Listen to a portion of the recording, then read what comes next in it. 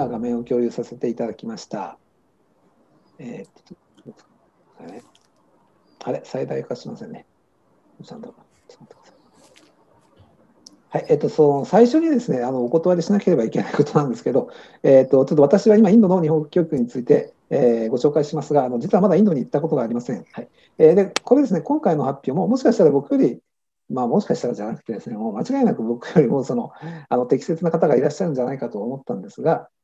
まああのまあ、実はコロナの後の状況について、インドの全体的な、えー、話をするには、やっぱりちょっと調査が必要で、えー、でその調査をちょっと面倒くさい、そういう調査、あのする余裕のある方というのがあまりいらっしゃらないということが分かりましたので、じゃあ、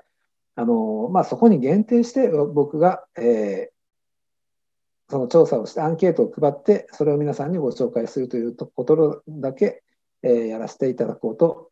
思います。どうぞよろしくお願いいたします。まあ、ただあの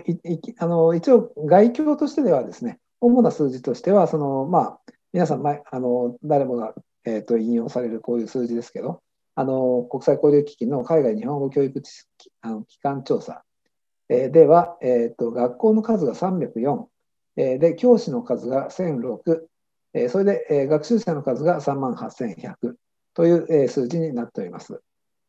えーと、それからあの コロナに関してはですね、えーと、もうつい数日前まで非常にいい感じであの回復の兆しが見えていたんですが、ちょっとここ数日ですね、あの人数が、えー、これ僕がいつも毎朝見ているグラフなんですけど、えー、死者の数をあの1週間で平均して、それをあの折れ線グラフにしてるんですが、それだとここ数日ちょっと上がってきてしまって、とてもなんか、えっ、と、これからインドに行く立場の人間としては、ちょっと、なんですか、まあ嫌な予感がすると言いますか、第2波でなければいいなというふうに思っているところです。はい。えー、ではですね、先ほど申し上げました、あの今回の、えー、オンライン調査の概要なんですが、えー、これはですね、その、先ほど申し上げましたように、私まだインドに行ったことがありませんので、オンラインでどうしてもえやるしかないということがありまして、で、Google フォームでアンケートを作成しました。それでインドの国内の、えー、日本語教師会、えーと、一応僕が把握しているものは全部、あのうん、お願いのメールを、あの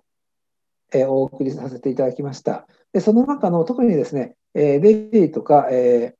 ー、ムンバイ、えーと、チェンナイ、それからあのカルナタカ州のあのバンガルール、ベンガルールですね、えー、この4つのあの日本教師会の方が非常に協力的にあの、えー、紹介してくださったようで、その地域からの回答が多くありました。で、回答者数は99名です。で先ほど申し上げましたように、あの2018年の数字では、えーと、日本語教師の数が1000人になっていましたので、えー、つまり10人に1人が回答してくださったということになります。えー、あ、そう、これ先ほど申し上げましたように、えー、回答してくださった方、一番多いのはタミルナドです。えー、それから2番目に多いのが、えー、マハラシュトラですね。そして、え、カルナタカシュ、ベンガルールのあるカルナタカシュと、それからデリーの、え、この4つが、え、大きな、えー、なんていうんですかね、分布になっています。で特にその、え、カルナタカ州とタミルナドだけでも半分を超えているので、えちょっとやはり南側に少し偏っているというところはあるかもしれません。えで皆さんがじゃあ回答してくださった方がどういうところで働いていらっしゃるのかということを聞きましたところ、一番多いかったのは、ちょっとこれ、あの実は意外だったんですけど、え個人で教えていらっしゃる方が3分の1いらっしゃいました。そしてその次に多かったのが大学で、えあとはあの企業と高校が、えー、7%ずつぐらいありました。6%ずつぐらいですかね、ありました。はい。え、で、えーと、あなたは今オンラインで授業をしていますかというのは、これがまあ一番聞きたかったことなんですけど、えー、これではあの83%ですね。はい、えー、質問したうちの83%の方がはいというふうに答えています。えー、全部ですね。全部オンラインで教えているというふうに答えた方が83%。えー、で、これが、えーと、8%ぐらいだったと思いますが、部分的にオンラインで教えているというのが、え、ありました。えー、対面で教えているというのは実はもう一つもなかったんですね。はい、それで大変あの残念というかあの心配なのが、ちょっとここの緑色の部分で、あのコロナの影響で日本語を教えなくなってしまったという方が、これも7%いらっしゃいました。えー、で、こういう人たちの、あの、なんていうんですかね、ケアというか、そういうところが、えー、今、急務と言ってもいいんじゃないかと思います。はい。えー、でですね、あの、さっきのあの、えっ、と、宗像さんのスリランカの調査にもありましたけど、え僕もですね、どういうあのツールを使っているのかをちょっと、え知りたかったので、えオンラインであの事業をしている人にですね、このテレビ会議システムをどういうのを使っていますかというふうに質問しましたら、まあ、これ本当に、えー、スリランカと同じなんですが、Zoom といった方が、えー、62%いらっしゃいます。で、その他に、えー、Google Meet とか、えー、Microsoft の Teams というのが入っていまして、えー、もう昔はこの Skype というのが非常に有名だったんですけど、それはもうあのかなり、えー、あのシェアを落としてきているように見えます。はい。えー、っとですね。はい。えー、それからその学習管理システムですね。えー、それについて伺いましたが、えちょっとですね、これはあの僕がちょっと驚いたんですけど、44%の方、半数近くの方が、えこの学習管理システムは使っていないというふうにお答えになりました。えで、あの、使っている人の中で一番多かったのは Google クラスルームですね。はい。で、その次に多かったのがブラックボードです。えで、あと、ムードルの方が1人だけいらっしゃいました。はい、なので、えーと、もしですね、これからあのこちらの44%の方が、じゃあ学習管理ツール、えー、学習管理システムなんか使ってみようかなということでしたら、まあえーと、周りにですね、それを質問できる方がいらっしゃるというのはとても、あのまあ、便利なので、誰か頼れる方がいらっしゃるというのがですね、そういう意味では、今のところ Google クラスルームをお勧めするのがいいのかなというふうに思っております。はい。えー、それからあのテレビ会議システムとは別に、えー、チャットサービスですね。あの文字を中心にした非同期型のコミュニケーションツールとしては何を使っていますかというふうにお伺いしました。で、これもですね、スリランカと同じで、インドも WhatsApp が1番、もう83.9%という数字になっております。えで、その他に Teams を、あのまあ、Teams はそのテレビ会議システムありますし、こういう、あの、あれですね、えチャットもできますので、そのティームも入っているというのがあります。で日本と同じ LINE もちょっとだけありますね。で、えっ、ー、と、個人的にはですね、この Slack が、まあ、日本では多分もうちょっと多いので、えっ、ー、と、Slack が多いのかなと思っていたんですが、Slack が人気がないというのは、えー、ちょっとびっくりしたところです。はい。はい。えー、それからですね、これもですね、あの、実はこれもちょっとかなり驚いたところです。はい。えっ、ー、と、実はですね、いろんな人から、あの、僕もインドの先生方からも、オンライン授業になってとても大変とかですね、えー、あの難しいということをいつもあのいろんな人から伺っていたもんですから、こんなに肯定的な結果に、えなるとは思っていませんでした。はい、あの最初にですね、え、楽しいか大変か、まあ、これちょっと英語にするとあまり対義語っぽくないんですけど、えー、まあ、答えていただいたところはですね、あの楽しいが32%で大変という方よりも多かったんですね。はい。えー、で、それから下の後半の方も、あちなみにこれは複数回答です。複数回答ですので、1人が2つぐらい、えー、大体答えてるわけですね。はい。で、えー、便利か不便かというふうに聞いたら、便利だというふうに答えた人は7割。えー、そして不便と答えた人は15%、えー、しかいませんでした。つまりその、えー、インドのあの日本語教師の方は、えかなりですね、こうした ICT の使った、えオンライン授業に関してはかなり肯定的な、え印象を持っていらっしゃるというのは、まあ、少なくともこの100人のあの方からは、え伺えると思います。でこれからですね、ちょっと実は僕少し驚いたので、あのツイッターでもですね、あの、うん、聞いてみたんですね。そしたら実はツイッターでも結構同じような数字になっていました。えー、便利か不便かというふうに聞いてみたら、便利という人が85%、不便という人が14%ですね。えー、まあ、これはもちろんそのインドの日本語教師に限定しないという意味です。えなので、えまあ、特に日本の人が多いでしょうけど、ツイッターなので海外の人も結構、あの一般的にあの、平均的にいろんなところで、いろんな人があの回答していると思うんですね。でそれではやっぱり85%が便利というふうに言っていて、で楽しいか大変かでも聞いてみたら、えー、67%の方が楽しいというふうに言っています。この割合はですね、ここの、えー、ここで見てるのと本当に驚くほど似ているんですよね。なので、えー、まあ、日本語教師の中でも、えー、ツイッターをやってる方っていうのは、まあ、結構先端的な意識を持ってらっしゃる方だと思うんですけど、それとこのインドのあの日本語教師会のメールを通して、えー、回答してくださった方はかなり、えー、近い考え方を持っている。ということは、あのえーと、インドの日本語教師の方は、えーと、かなりですね、世界の中でも、え、先端的な考えを持っていらっしゃるんじゃないかなというふうに思っております。はい。はい、で大変というふうに答えた方が、えー、何名かいらっしゃいましたのでで、そういう方にですね何が大変かということを、えー、聞いてみました。えー、でもう圧倒的に多かったのが、このあのインターネットの回線速度ですね。もうこれに比べたら他のものはそれほど多くないです。で、えー、まあでも、あえて言ってみると、えー、パソコンなどの機器とか、えー、それから時間管理、まあやっぱり忙しくなってしまう人が多いみたいですね。慣れてしまうと。あと、やっぱりその仕事とプライベートの区別がつきにくくなるというのも、時間管理が増えている、えー、理由かもしれません。あと、これもですね、あの自分自身の ICT リテラシーというのは、えー、これは教員のっていうことですよね。先生方が答えているので、あのつまり学生さんのリテラシーが低くて困っているという人はほとんどいないんですが、むしろ教員の方がそれに困っているという方がいらっしゃるということが分かりました。はい。で、これはですね、その後の方にちょっと出てくるんですけど、えー、このアンケートの一番最後に、えー、自由記述でですね、えー、つまり文章で、え答えていただく、質問を作りました。これはですね、そのコロナ禍において国際交流基金のような、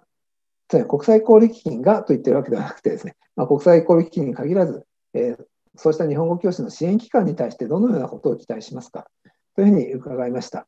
で、これはですね、あの自由記述なので、あの本当にいろんなことが書いてありました。まあ、ですが、えーと、あえてですね、それをちょっと分類してみると、えー、このような感じになります。はい。えっ、ー、と、あの教師研修をしてほしいというのが、えー、4割ぐらいに上がっています。あちなみにですね、これも1人の方が、えー、2つ以上のことを書いていることがたくさん、そういう例もたくさんありますので、えー、まあ、もしアンケート、選択式のアンケートで言えば、あの複数回答にかなり近い、えー、答え方になると思います。はい、えー、であの、教師研修をしてほしいというのが、えー、4割近く、39%ですね。それから教材で、特にその印刷ではなくてダウンロードできて、PDF で見れて、えー、かつ無料の、えー、教材を、えー、配布してほしい。というのが3割以上、ああと3分の1ですよね。3分の1以上でいらっしゃいました。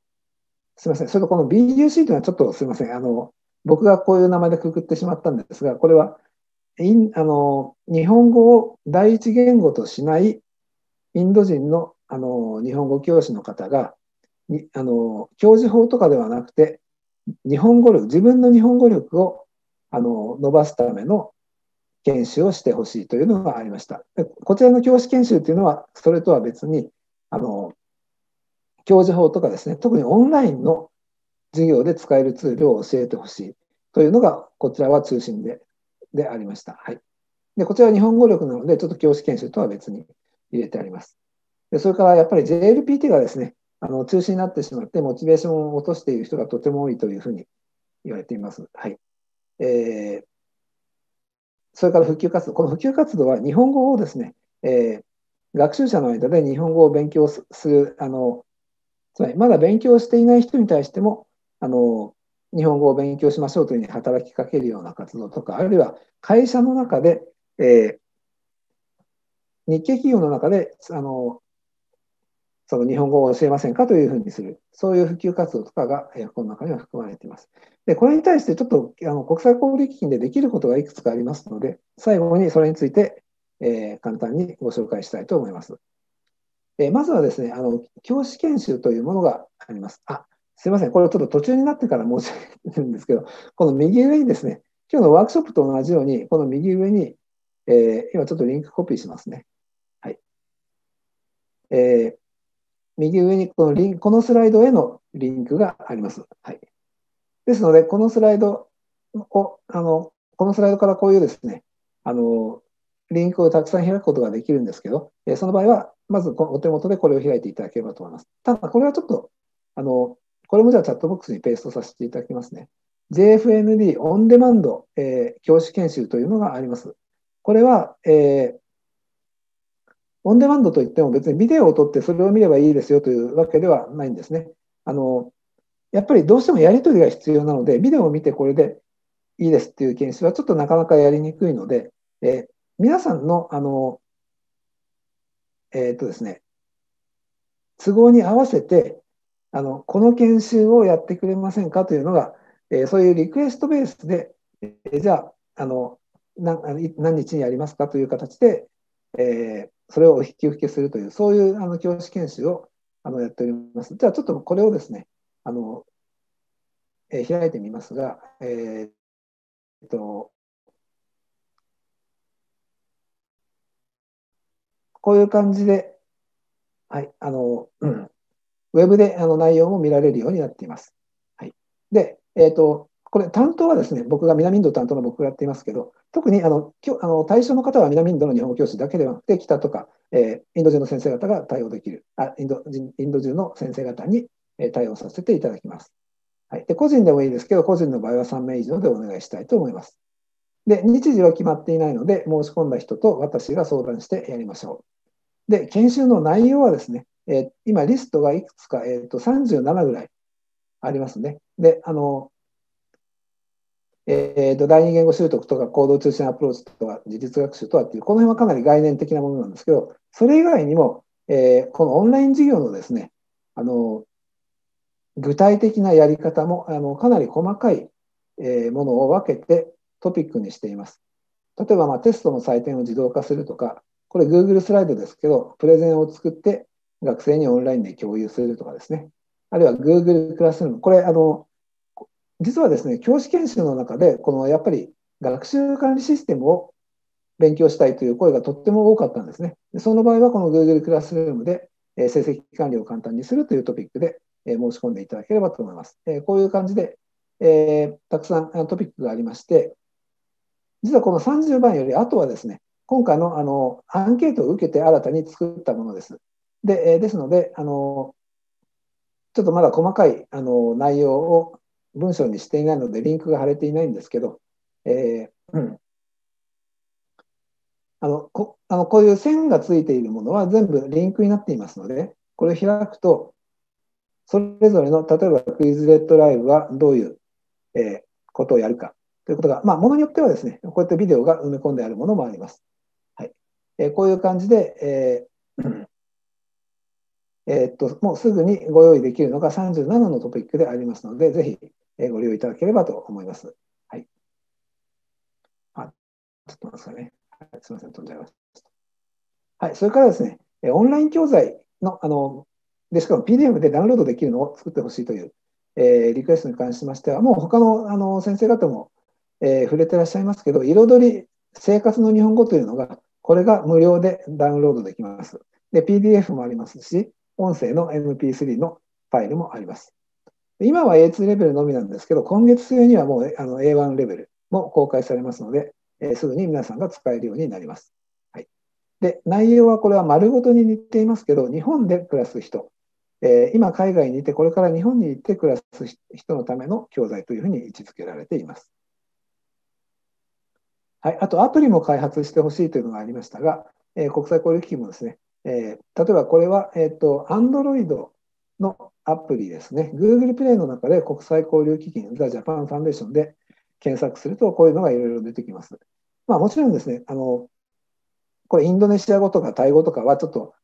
インドではあのニーズはないと思いますけど、英語版のものも結構ありますから、ぜひ、えご利用いただければと思います。はい、あと最後のその日本人、あすみません、インド人に教師の日本語力向上につきましては、えー、ブラッシュアップコースというのをあの北と南ではやっています。すみません、ちょっと他の地域の西とかのことすみません、聞けてなくてすみませんが。はい、えっ、と、まあ、南インドではちょっと僕がですね、もう継続的に実施中です。で、北インドでは今のところ JF 認定講座のあの教師を対象に、えー、その日本語を伸ばす、えー、講座、ブラッシュアップ講座をやっています。で、この JF 認定講座というのは、例えば丸ごとを使って、え、基金のあのスタンダードなカリキュラムに従ったコースを、えー、運営しているところがあの JF 認定講座になっていて、えー、つまりそういうあの講座を開講していただいて、えー、認定講座になればあの、ブラッシュアップコースにも参加できる可能性があるというわけですね。はい、で普及活動としてはあの、こういうものがあります。12月にあの南アジアショートフィルムコンテスト、これ去年もやりましたが、今年もえー、やるつもりで準備をしております。えそれから来年1月になりますが、俳句コンテストもあります。これもですね、こちらにリンクが貼ってありますので、えー、あ、すみません、これは去年のですね、これは去年のものです。去年のあのどんなビデオがあったかのリあのリンクが貼ってあります。で、えー、詳しいことはですね、後ほど、Facebook のコミュニティでお知らせいたします。で、えーと、特にこの南アジア日本語教育ネットワークとか、そういうところでご覧いただければと思っております。はい、えー、以上、あの私から、えーと、インドについての、えー、コロナ禍における、えー、日本語教育の現況について、現状について、えー、ご紹介させていただきました。質問のある方はもちろん、この Zoom でも結構ですし、えー、この会が終わった後でしたら、Twitter のミドゴンパパで、えー、検索していただけるとすぐに見つかるのではないかと思います。どうぞよろしくお願いいたします。